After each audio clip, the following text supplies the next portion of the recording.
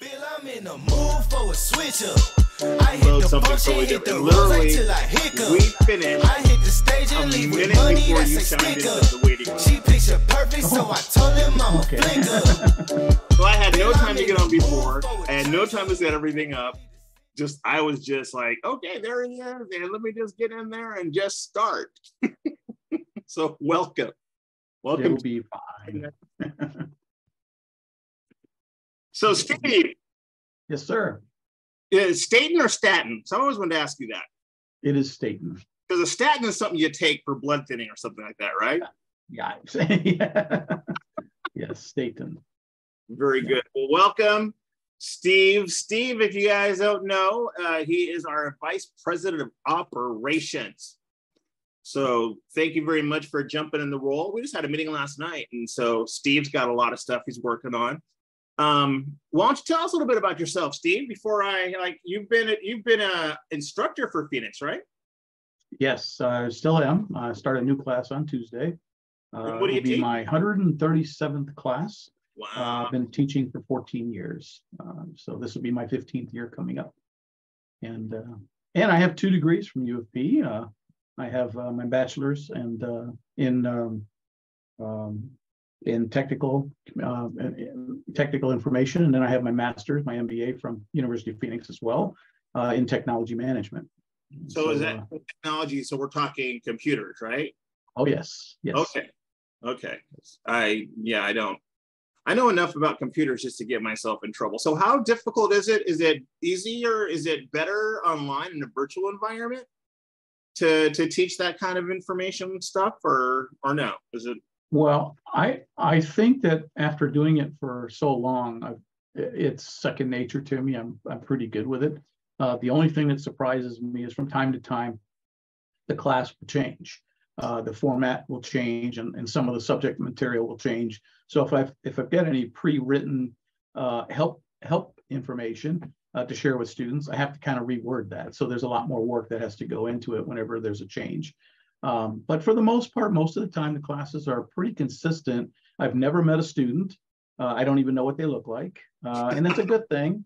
Uh, you know, the diversity and, and inclusion is there because to me, they are a student uh, and everybody gets treated equally regardless of, of, of where they come from or what their background is. And so it, it makes it fun for me. I, I enjoy that.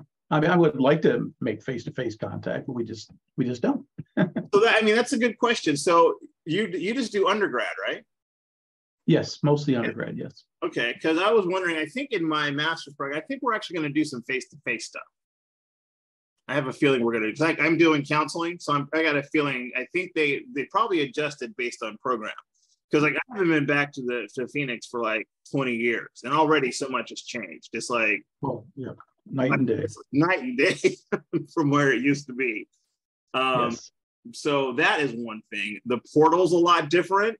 Um, like I tell people, and I, I think I told you guys last night at the meeting, um, I- I have to learn the whole mindset of uh, save draft because uh, it just Yes. doesn't just stay in the window when we're doing stuff. It, you know, you got to save it. It disappears.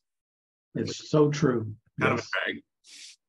So I have drafts saved to the side and I pull them out when I need to. And then then I go back and double check my grammar and my vocabulary. And and then sometimes I go, why did I write that? yeah, it That reminds me makes no sense. yeah, I've got to go. I've got a textbook out in the mailbox that I got to go get. So, um, so you know, I think about this whole mindset of what you're doing from you know teaching as an instructor at Phoenix, and now you're involved on the on the executive leadership for the alumni council.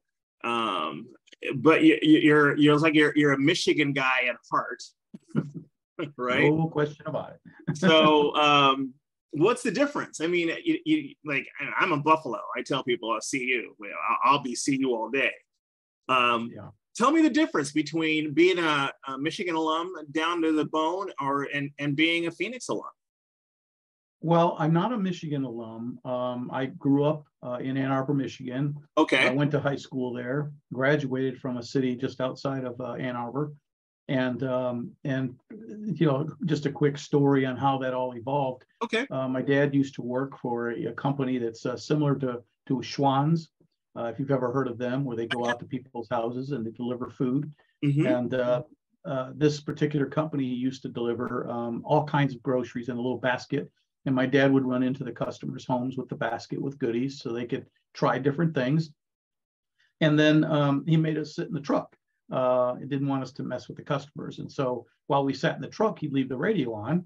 And uh, on football Saturdays was usually when we had to do this. And uh, so it would all start very early in the morning where they would play the Michigan fight song and, uh, and just continue to lead up toward game time. So the whole time we, would be sitting there all day long listening to uh, everybody getting excited for the game. And once the game came on, it was, it was just uh, an amazing thing for me. And I had, I grew up with that, having never seen a game in person. Um, but I was a huge fan. I was hooked. Huge fan. Okay, so you're a huge booster. Excuse me. It's okay. Yeah, cut that out, will you? Well, if it's anything like uh like Colorado, I mean, Buffaloes or the Rams, uh, those are the two teams that everybody kind of goes crazy. Like you know, Doug Mhm. was here. Um, so it, I remember I asked you some questions before, and you said you uh, you support um, the marketing arm of two prominent businesses. yes. Okay, tell me about that. Well, uh, I'm I'm moved into the. I used to be um, a systems administrator, so taking advantage of my degree in technology, uh, and then I I felt like I was missing something, so I morphed into uh, project management and doing uh, what we call Six Sigma Black Belt, which is uh, solving strategic level problems for businesses. Um, and through a, a, series of layoffs, working for both healthcare and the aerospace industry, um, I ended up somehow getting introduced to a new uh, software tool that was in high demand. Uh, and they needed somebody with my background to help administer that system, as well as lend a hand in consulting on, uh, you know, strategic level projects. So the, the overall fit of all that together uh, provided me with an opportunity to become a consult- consultant uh, so I didn't have to get laid off anymore. Yeah. And uh, so I've been consulting since uh, right uh, after COVID uh, in, in 2020. And uh, I support right now Fortune 500 number one and number 18. So that, that'll give you an idea who they are.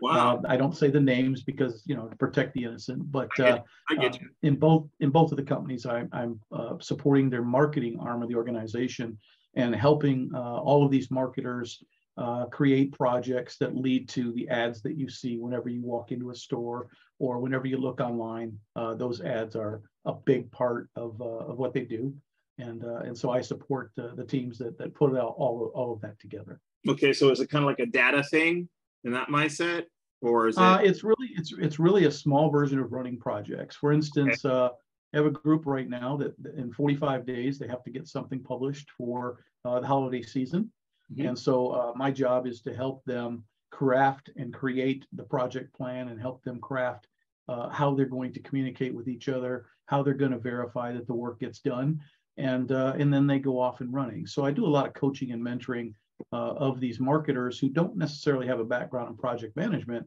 but do understand marketing. And so I kind of help fill in the gaps of, of knowledge with the, with the two things that are hand in hand to get to that finish line of of the ad that you'll see uh, when you look online or walk into a store. Okay. So kids, married, wife, kids, all that good stuff. Oh yeah, I've been married for 42 years, uh, but Wow. I got married when I was 13. So, uh,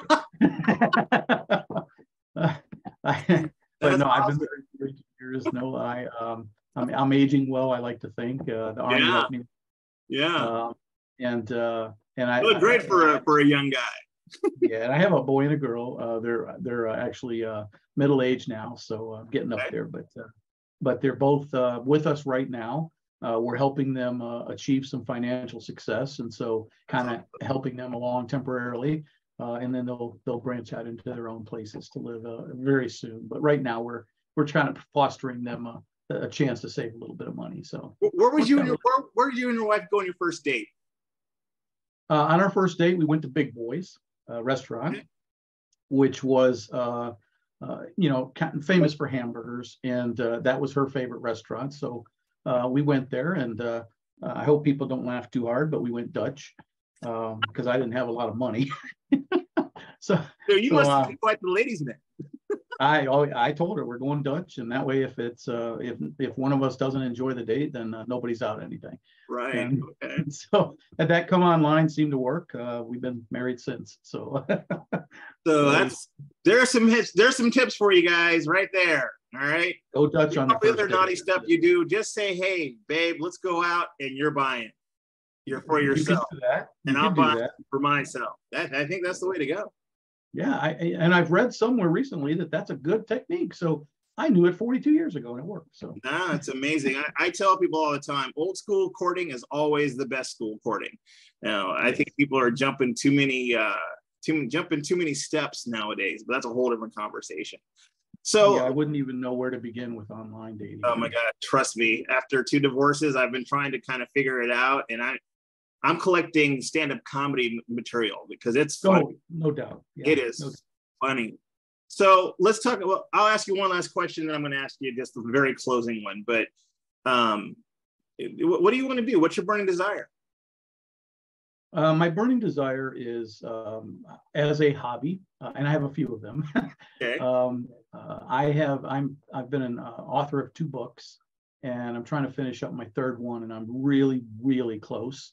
And uh, so uh, my short term goal is to uh, finish that book and publish it, uh, and then my longer term goals.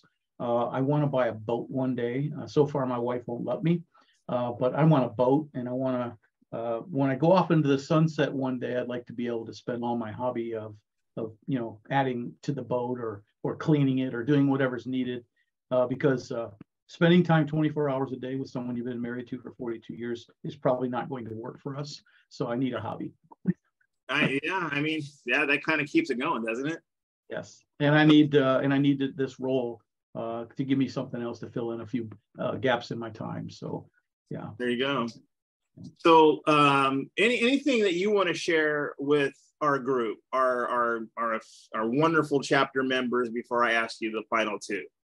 Sure. I, I I've, I've given this some thought, and and there's so many things that I could talk about because I'm I'm very extroverted. Uh, you might find that.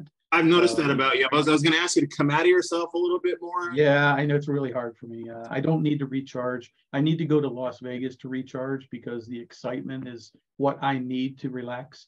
Uh, so, so people that you know, an introvert who sits on the beach watching the waves come in, I, I'm not that. Uh, I got to be in the water. Okay. Um, but, but anyway, my advice to to fellow alumni is there's been a great effort recently um, to um, uh, to get into the business of career development for alumni, and I, I'm for one am extremely excited about that because you know we, we all have, there's a lot of changes in this world with AI and uh, you know jobs potentially being lost uh, down the road and you know how we market ourselves how we make ourselves relevant to employers um, is something that's not usually been a part of uh, the degree plan after you finish school Right. and so to see that ufp is investing in us for for the life of our careers i think is a wonderful uh, is a wonderful thing. And i've been uh, participating in some of the uh, sessions to help uh, shape the model of the career development. And so i'm going to uh, throw a shout out there that if you have not yet logged back in uh, to ufp this would be a great ideal. And please join us in an upcoming office hours where we're going to be have a live session and we're going to talk about whatever you'd like to ask us. And if you've got any career development questions or how to how to go about uh, finding some resources, um, I'll have that available and ready for everybody. Yeah, stay tuned for more of that information. Uh, Steve has a great idea to kind of help us out because you've heard me say it a million times. Uh, this chapter is going to be what you want it to be. Uh, I don't want to start mandating, hey, come make this a job. Um, is something I've loved about University of Phoenix from 20 years ago till today is they're there for us. You know, we we pay a tuition. They are great at servicing what we need. And so Steve has this idea why don't we just do office hours, see how we can help people. And if we don't have the answer, we can go get it. And so um, I've been very fortunate to, I was back in uh, the mothership back in October. I've made some great connections from our illustrious president all the way down. So um, use me. I have no problem reaching out to folks. So Yes. And uh, that uh, office hours will be uh, Wednesday, September, I'm sorry, October 11th uh, at 6 p.m. Uh, and it'll be announced in our, uh, through email and through our, our uh, Facebook page. Uh, so please, if you can, come on in and ask away and just feel free to be part of, uh, of the group and make yourself known. Uh, completely, um, there will be no formal uh, agenda. Just come on in and we'll say hello. Yep, there you go. It's like just wide open, but we'll just be looking out for it. We'll uh, you'll see a lot of promotion for it. We'll put it out there. So here's my last question for you. So I always try to do a question that just throws people off, just because that's the kind of guy I am. So here's the question I found.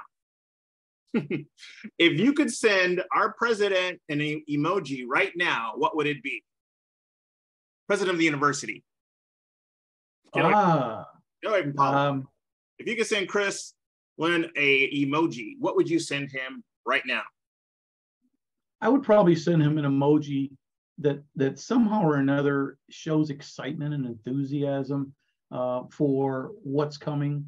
Uh, our ability to support working adults has not changed, uh, and um, and we now have this exciting uh, action coming up with Idaho.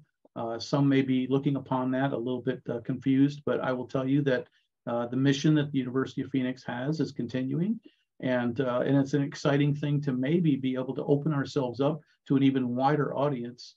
Uh, so I would send him uh, probably an emoji that looks like this. Screenshot of that when I record this. Actually, when I re yeah, edit this. you I'll- go ahead. I'm, I'm afraid of what it's going to look like. Great. So great, great talking to you. Uh, great advice about careers. I, I agree. I've used the uh, the, the career uh, center a couple of times myself. I've got a great uh, lady I work with out of, out of Colorado. She's given me some great pointers.